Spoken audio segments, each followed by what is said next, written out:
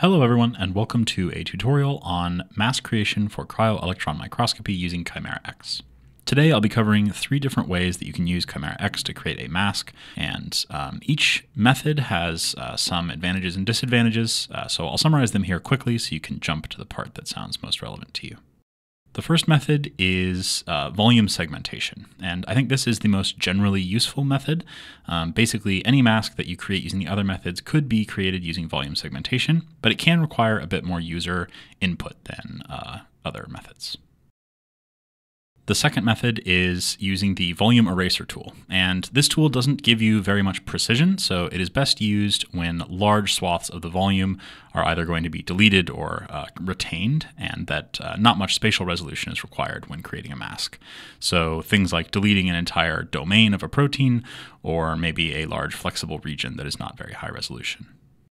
The final method that I'm going to show is the molmap method, and this method can create complex masks relatively easily, but it does require an existing model. So it's best if you are analyzing a protein for which there already is a model or for which you've already built a model. There are a number of jobs which require the creation of masks. Uh, some that are probably the most common are local refinement and particle subtraction. And then uh, some other jobs benefit from uh, user supplied masks, such as 3D classification, 3D variability analysis, and even sometimes global refinements like homogeneous or non uniform refinement can benefit from a mask. If you find yourself wanting more information about how to make the best mask that you can uh, after watching this video, you can always check out our guide, which has an extensive tutorial uh, that follows many of the same steps that I cover here uh, in written form. And of course, if you have any more questions after reading the guide, the discussion forum is a great place to ask those. Today, I'll be using this uh, volume from the local refinement tutorial. This is the tri-SNRNP uh, map, and this is the result of a non-uniform refinement. And for the examples I show today, I'm going to be using uh, one of the most common uh, types of mask uh, that we'll want to make, which is for local refinement, right?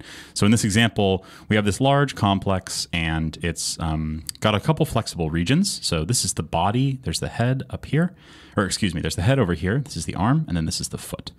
And um, today I'm going to make a couple different masks of the foot using these three different techniques that I think uh, are the most common and the most useful ways to make masks. Um, so let's just dig right in. The first step in making a mask, no matter what technique you want to use, is to blur the map out. So um, the reason is that you know when we contour this uh, map down, we can see that we actually have pretty good resolution in uh, some of these regions, especially the body here. You can see the helical pitch and things like that. But in the um, head over here and the foot down here, that resolution is worse. And actually, especially if we look at the head and the arm, they've completely disappeared at this higher contour level. And if we contour down enough that we can see them, the um, region of the map gets really noisy, and uh, including noise in your mask is uh, going to be pretty deleterious to the quality of the alignment you get. So if we first blur out that map, we'll get rid of a lot of that noise and we'll be able to see what we're doing a lot better. And it just makes it easier to make the mask in general. You don't have to worry about these high resolution features, um, whether or not to include them. So you can use volume tools in CryoSPARC to low pass filter the map. Uh, I generally find it's easier and of sufficient quality to just use a Gaussian blurring filter, which is built right into ChimeraX. So we can type volume uh, Gaussian and then give it the ID of the volume, which for us, uh, our initial map is just going to be number one. And then SDEV for standard deviation, and that's basically the width of the Gaussian. So a higher number here will give you a blurrier volume. And uh, I generally like to try two first before moving on to any other number. This will take only a second to run, and we can see that um, we've got a much nicer, smoother um, volume here that doesn't have any of that noise in the head or arm region, and especially the foot looks really nice. So uh, I'm just going to change this color a little bit, and then um, one other thing to note is that um, because we're doing a local refinement, we might also want to do particle subtraction. And uh, this can improve the quality of a local refinement depending on the um, particles and uh, how big the domain you're aligning is. But in any case, it's good generally. If you're going to do a local refinement, you may as well make a mask for particle subtraction just in case you need it later. And these uh, masks are complementary. Everything that is in your local refinement mask should be excluded from your particle subtraction mask and vice versa. Everything in your particle subtraction mask should be excluded from your local refinement mask. Let's go ahead and get started with the first technique. So the first technique we're going to use is um, the one that we generally recommend uh, for um, more complex maps um, and even simpler maps. It is still pretty quick, and I think it reduces the likelihood that you make some kind of error um, during your mask creation. So I'm going to start by making a local refinement mask of the foot, and then I'll show you how to make the complementary um, particle subtraction mask. So this procedure is um, uh, segmentation, and uh, what we're going to do is use a watershed segmentation tool that will break this large volume into um, several smaller subvolumes, and then we can output volumes that only include the subvolumes we want. So to do that, I will jump up here to um, Tools, and then Volume Data, and then Segment Map. And you'll see this will create a nice little segment map pane down here. And oops, I'm just going to um, lock it into the dock up there. And then I want to drop down this shortcuts options uh, tab, just because this contains some buttons that are going to do some useful functions uh, that we'll, we'll make pretty significant use of. And so we want to segment our blurry map. So be sure you choose your Gaussian blurred map. In our case, that's number two here. And then all the defaults are fine uh, uh, for our purposes. So we'll just click segment. And depending on the size of and um, resolution of your uh, map, this will take uh, different amounts of time, but you can see it wasn't too bad. And so now we have all these uh, kind of colorful uh, subregions that sort of um, cover the entirety of our, our initial map, but they're broken out. And so what we can do now is we can select these subregions and then hide them if we don't want them to be in the mask we're building. And um, first I'm going to turn off this map just so it's not visible below uh, the mask we're making. And then I'm going to start with this sort of tan region that's covering the arm. And to select it, I will control left click. And um, you can see if we zoom in a little bit that this has been um, selected in this kind of green outline. It might be more visible if I select this region. So you can see this green outline is our current selection. And then to add to our selection, we can control shift left click. And that will essentially toggle whether a region is in our selection or not. So if I control shift left click this region, you can see it's been excluded now. Then if we come over here and click hide selected regions, um, they are all hidden. And um, the reason we're hiding them and not deleting them is for two reasons. One, there is no undo. So if you ever hide a region you actually decide you want to keep, you can just click show again and it will come back. But if you were to click delete, you can see there's no sort of undelete button here. So this is a bit of a safer way to construct a mask. We're also only hiding them because then at the end we can re-show them to create our particle subtraction map. One last thing that is useful is if you control uh, click and drag, you will create a box like you're seeing. And this box will select all the regions that it overlaps. And it will even come around on the back and select ones that are sort of on the other side of the volume of your mask, or uh, excuse me, of your selection box. And so if we click hide now, uh, you can see that we've hidden a really large chunk. So this is a way to get rid of very large domains that you know you don't want any of in your final uh, mask. So um, I hopefully haven't got totally turned around. We can turn back on our volume to make sure we know where we are. Great. And then I'm just going to come through here and uh, quickly select and hide a bunch of these regions. Okay, so uh, I'm pretty happy with just having these regions in the, um, the local refinement mask, the one that we'll use to align the particles. And so what I'm going to do is I'm going to control drag to select all of them, and then I'm going to click group. And what that's going to do is make just a single region. And I'm doing this because it'll make it easier to hide all of these later when we want to make our particle subtraction uh, mask. But for now, I will come up here and click File and then Save Selected Regions to MRC file. And um, the name for this one doesn't matter very much. I'm just going to call it foot um, mask.mrc. And um, we can see here a problem, which is that uh, the box size for this uh, volume, uh, which if we hide our segmentation will be easier to see, the box size for this volume is just big enough to contain the volume. So it's only 103 by 102 by 99 voxels, whereas our map is 380 cubed voxels. And there's a problem because CryoSPARC won't know where to put the volume we just created since it's in the wrong box size. So it actually won't accept this volume as a mask. But luckily, this is a very easy problem to fix. We just need to resample all the information in this mask that we just created onto the original box. And we can do that with volume, resample, number four, which is the mask we just created, on grid number one, which is our original map. And so now we see we have this purple volume that has the correct box size, 380 cubed, but it is the correct mask as well. It only has the information for the stuff we selected. So now we can just type save and then um, I think I called it footmask.mrc and then number five. And this will um, create that file that has the correct box size, but only the stuff we masked out. And so now I'll turn back on my segmentation here. How do we create the complementary map, right, with all the stuff we hid? Well, what we can do is we can show regions all. Okay, and so now we have all our regions back and we grouped all these ones we made the mask out of. So now we just control click this big group region and hide that. And now uh, we can see that we only have these regions up here. So again, I'm going to control, click, and drag, and I'm going to group just, uh, in this case, to be sure I got everything. So I want to see everything get put into a group. We're basically done with the segmentation at this point, so we don't need this group, but it's nice to make check and make sure you got everything. And then I'm going to follow the same procedure. Save selected regions to MRC file, and I'll call this one everything else. Uh, and I have that from an earlier example. Um, and then again, this is on the wrong box size and it's different from the foot, right? Because the everything else is larger. So we can just do uh, the same process we did last time. of volume resample number six this time on grid number one. And then we want to save to the same place so we don't get oops so we don't get uh, confused when we're uploading the masks later. And so now, um, if we look at our two resampled uh, volumes, we can see that uh, we've got a nice uh, sort of everything else mask up here and a nice blue um, foot mask down here. So that is the first technique, that's segmentation. And so now we can move on to the second technique. This technique is one that people are probably more familiar with. We're going to use the volume eraser to directly modify the, um, the maps themselves. And uh, since we are directly modifying them, it is, uh, if we want to make that particle subtraction mask later, we're going to need to create a copy of this volume um, for later. So we'll start by doing that with volume copy number two, and this is our blurred volume, right? That, that Gaussian blur we applied. And so we can see that number three and number two are exactly the same.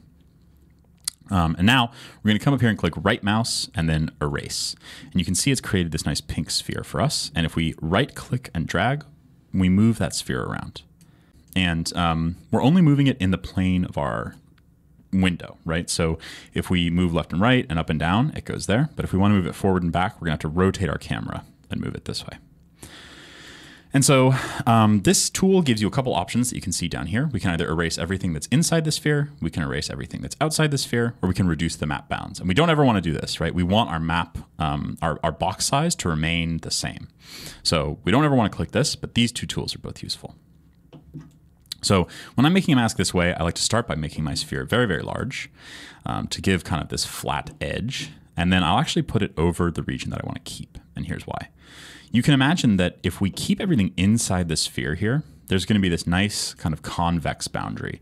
Oh, this is another problem where since the sphere counts as a model, when you make it very large, your rotation can rotate around a, an unexpected point.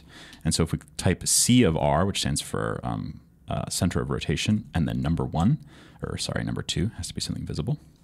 Um, now it will always rotate around the center of our box, which is nice uh, when you're using the sphere like this. So like I was saying. Um, you can imagine if we erase everything outside the sphere here, we'll end up with a nice sort of convex boundary between our mask and the uh, rest of the box. Whereas if we made the sphere large and put it up here on everything else and erased what was inside the sphere, we would have this sort of concave boundary. And um, you know, I, am not sure that that makes a huge difference. I just find it more aesthetically pleasing to have this convex boundary. So I'll position the sphere approximately where I think the foot ought to go. And remember that you'll be padding this and, and in some cases dilating it as well. So it doesn't need to be exactly precise. I just try to get it kind of close. And then I'll click erase everything outside sphere. And so we can see that number two has been modified, uh, and now we only have what was outside the sphere. And so all that's left is to come over here and clean up this little chunk, which uh, maybe we can make our sphere smaller for that purpose. So now we're going to erase inside the sphere. And then um, one other thing you want to do is keep a really close eye on uh, these little chunks of dust here, right? This is going to be a problem because when you make a mask, this will get padded out and you'll end up including a, a large region, even though the, um, the speck of dust itself is quite small. So I'm going to come in here and make sure we erase that.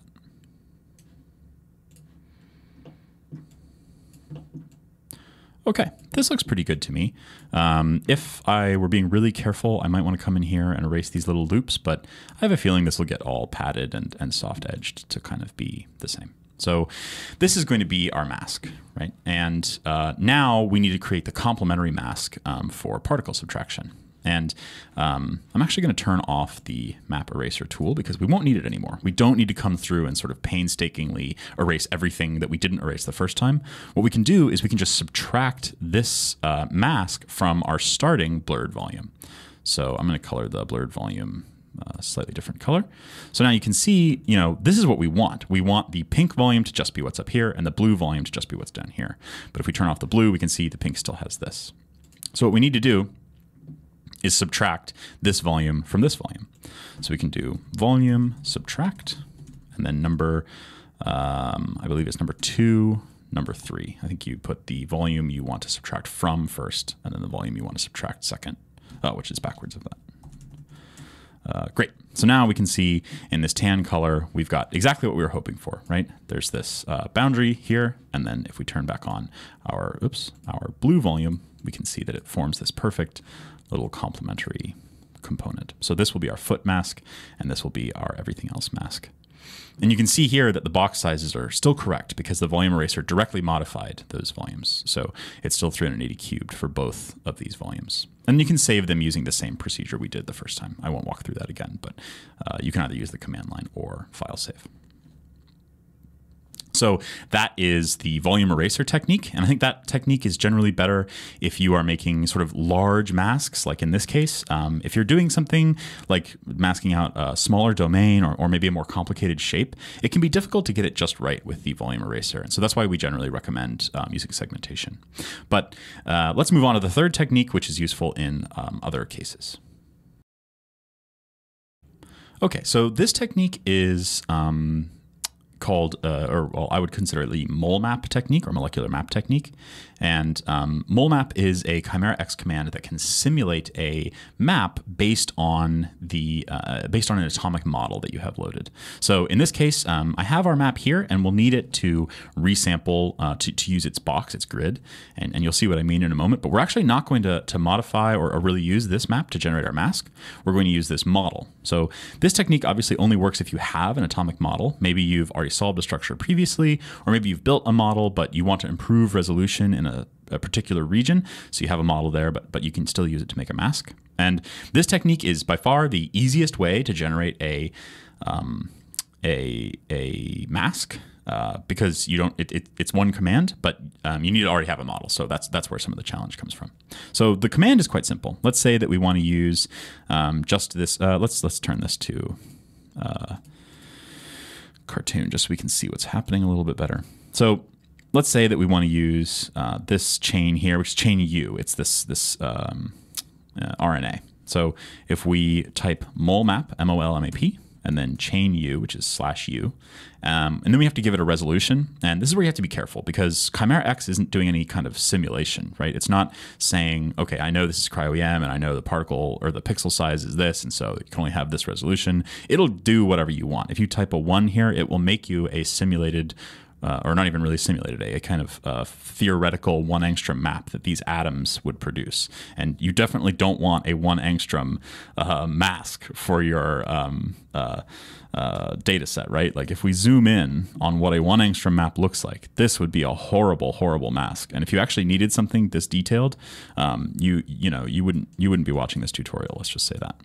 So uh, let's let's let's delete this this bad mask that we made, and instead we'll do something like 16 angstroms. And you can see that that has made a really nice, soft, smooth mask, but it's really well centered on that part of the um, the model that we selected. And you can include other chains in this as well, right? Maybe we want this little blue bit of protein here, which is chain C. So we can type um, slash C comma U, which is uh, select chains C and U.